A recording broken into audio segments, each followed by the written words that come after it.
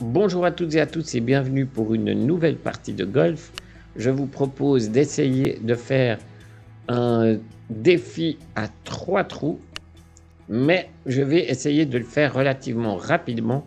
Donc j'accélérerai à chaque fois que l'adversaire réfléchit ou lorsque cela n'est pas très intéressant.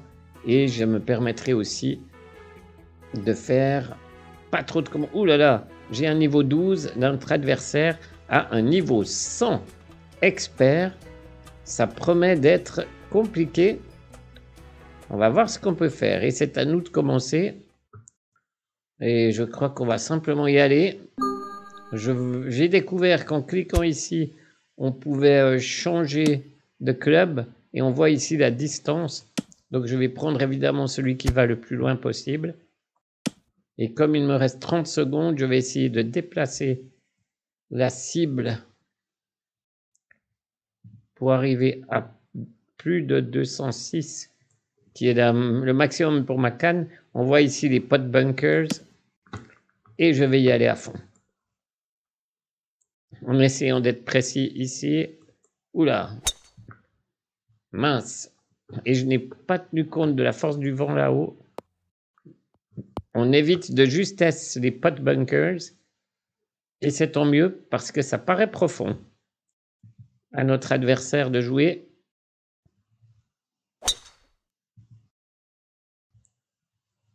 Et c'est un coup mieux centré et qui va très loin.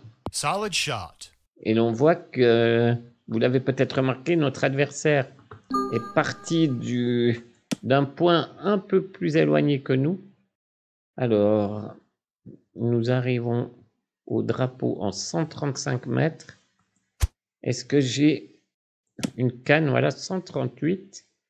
Avec celle-ci, si je clique, si je prends toute la puissance possible, je pense que ça devrait le faire. Il y a un vent contraire légèrement Défavorisant, on va voir. Mince, de nouveau, je clique un peu tard et je vais me retrouver trop à droite sur cette image, trop à gauche. Mais ça va, nous sommes tout de même relativement près du drapeau sur le green. Voyons ce qu'un joueur de niveau 100 est capable de sortir. Sa balle part très haut pour atterrir sur le green également, dans une partie un peu plus bosselée. Et c'est à lui de jouer. Apparemment, nous sommes plus près. Il est à 16 mètres du drapeau.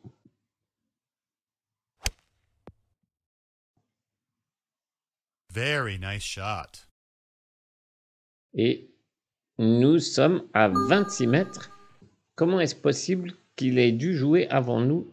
Je ne sais pas. On voit ici que ça descend légèrement, que ça penche de ce côté ici, mais peut-être un petit peu de l'autre dans l'autre sens vers le drapeau. Je crois que je vais y aller gaiement sans me poser trop de questions. 26 mètres, notre club est capable de tirer à 46 mètres. Je vais donner une puissance moyenne là dans le vert en tenant compte de la légère pente.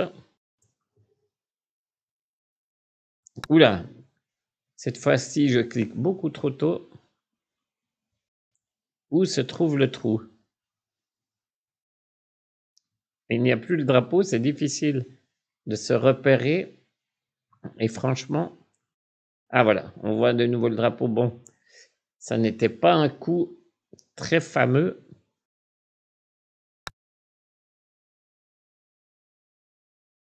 Oula, notre adversaire passe à quelques centimètres du trou. Alors, je vais essayer de tourner pour mieux voir. Il n'y a presque pas de pente. Peut-être que ça monte légèrement. Alors, je vais tirer cette fois-ci un peu plus fort.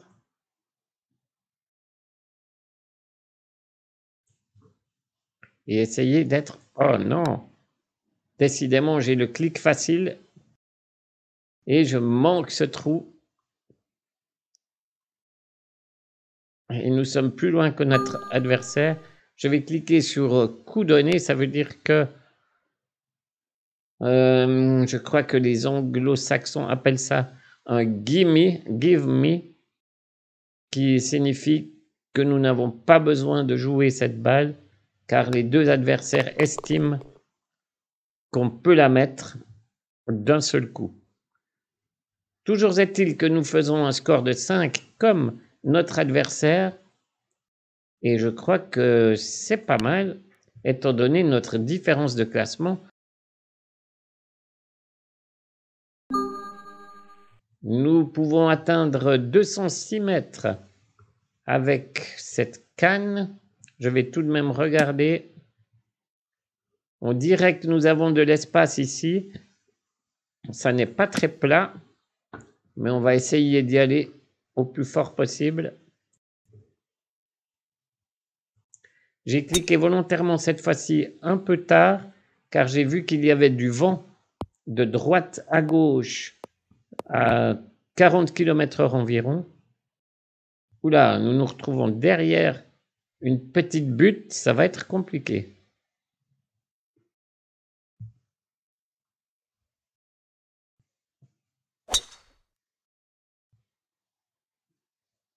Un très beau coup de notre adversaire qui arrive tout de même dans de l'herbe moins rase donc théoriquement, nous sommes mieux, mais nous avons cette grosse butte à passer entre nous et le green. Il y a aussi ce bunker qu'il faudra éviter. Alors, 132 mètres. Je vois que je suis capable d'aller à 138. Donc, je crois que je vais y aller un petit peu moins que la pleine puissance, en espérant que la balle roulera légèrement mais peut-être que les 138 mètres incluent déjà. Oula, vous voyez que le vent a dévié ma balle et je tombe dans le bunker. J'avais oublié de tenir compte du vent. C'est de ma faute. Et lui se trouve sur cette fameuse butte. Un coup également très difficile à l'aveugle. On ne voit que le bout du drapeau ici.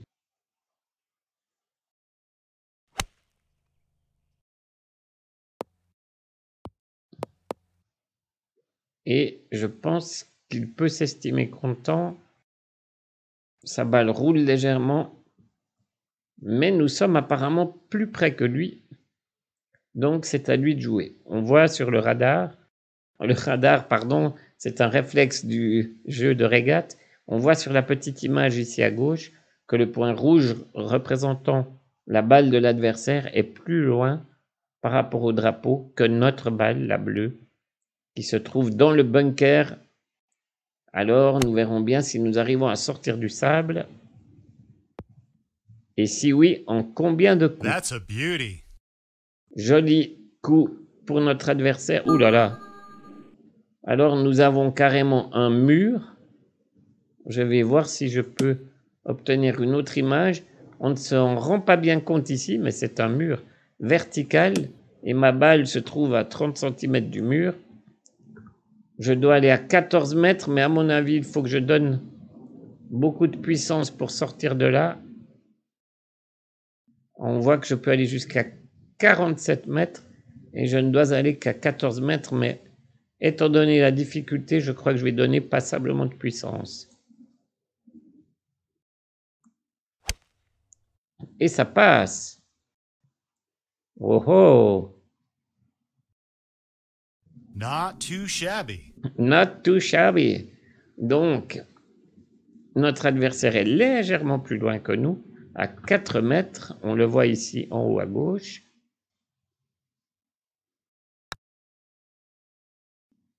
Eh bien, il n'a pas réfléchi longtemps. Et nous sommes, nous, à presque 4 mètres. Alors, je vois que le terrain penche. Je vais remonter ma cible légèrement pour compenser cette pente. Et ça monte aussi un petit peu contre là, de 5,4 cm, ça n'est pas grand-chose. Donc je vais donner un tout petit peu plus de force que la moitié et essayer d'être précis. Oula, trop corrigé, beaucoup trop corrigé. Un mauvais coup de ma part. Je vais cliquer sur coup donné car je n'ai rien à perdre. Lui, à coup sûr, va la mettre dedans, tandis que moi, euh, ça n'est pas encore gagné. Donc je clique sur coup donné et je pense que s'il l'accepte, eh bien, ça va être de nouveau une égalité. Il ne reste plus qu'une partie pour essayer de nous départager. Dirigez votre mise en jeu juste à droite des coffins, les trois profonds bunkers se succédant sur la frange gauche du fairway. Nous avons déjà joué ici. Je ne sais plus exactement où se trouvent ces coffins, ces fameux cercueils. Mais nous verrons bien, ce match est actuellement à égalité et nous sommes au dernier trou. Je vais, je vois que nous pouvons aller à 206 mètres. Je vais essayer de décaler légèrement. En fait, non. Voilà les coffins, ces gros trous. Donc, je vais plutôt essayer de m'éloigner un tout petit peu de ce côté. Mais je vois en même temps que le vent va me pousser dans cette direction. Donc, je crois que je n'ai rien à faire. Je vais tirer le plus droit possible Mince, j'ai déclenché trop tôt. J'avais l'intention de déclencher plutôt trop tôt que trop tard à cause du vent, mais nous avons du bol. Nous évitons les fameux cercueils.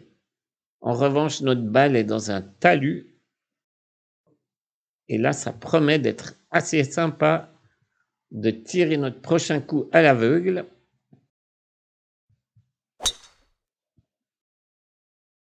Sa balle part bien droit. Mais, mais, mais, mais, mais, elle atterrit également dans un talus, pas le même que nous. Nous voyons notre balle euh, ici, et lui est de l'autre côté, mais dans un autre talus. Donc voilà, 107 mètres, nous pouvons tirer à 115. Le vent va nous pousser un petit peu légèrement sur la droite. Je vais voir si je peux décaler le drapeau légèrement. En fait, pas trop, car il y a une pente. Si ma balle tape ici, elle risque de rouler toute seule là. Donc je crois que je vais y aller même assez fort pour éviter les premiers obstacles, un tout petit peu moins que la puissance max. Et décidément, aïe, juste avant le green, j'ai lu quelque part, je ne sais plus où exactement, qu'avec euh, l'expérience, les points où l'argent gagné dans ce jeu, on peut passer à un certain niveau qui nous donne plus de précision sur le déclenchement du coup, c'est-à-dire que le petit curseur voyage moins vite et qu'il est donc plus facile de déclencher avec précision, ce qui n'est malheureusement pas notre cas. Regardez un magnifique coup de notre adversaire et sa balle roule tranquillement en direction du drapeau. Nous sommes à 13 mètres. Le vent nous pousse. Il n'y a apparemment pas trop de pente. Je vais essayer d'observer. Ah oui, ça descend légèrement. Donc je vais essayer de cliquer ici sur le drapeau. Je vais essayer de tirer un peu plus de ce côté avec une force un peu plus que moyenne puisque nous sommes dans l'herbe assez haute. Et c'est parti. Pas assez corrigé au niveau de la, la direction et peut-être un peu faible au niveau de la force, mais nous nous rapprochons tout de même du drapeau.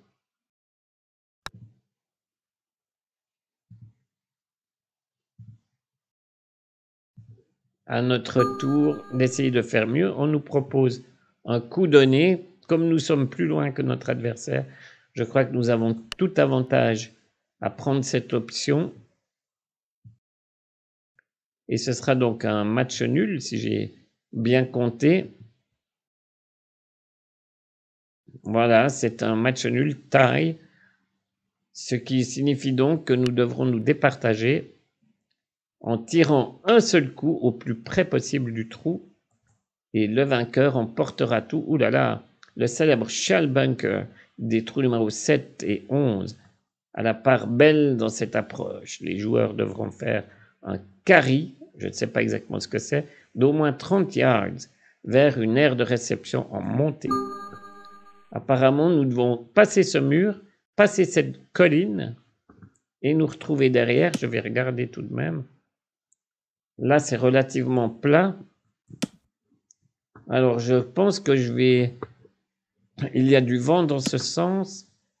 Je vais décaler le drapeau un petit peu par là. Il me reste 20 secondes.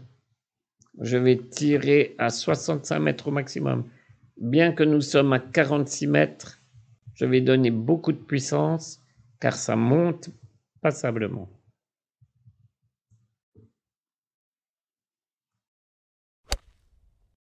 Elle risque de partir trop loin. Mais non, c'est pas mal du tout.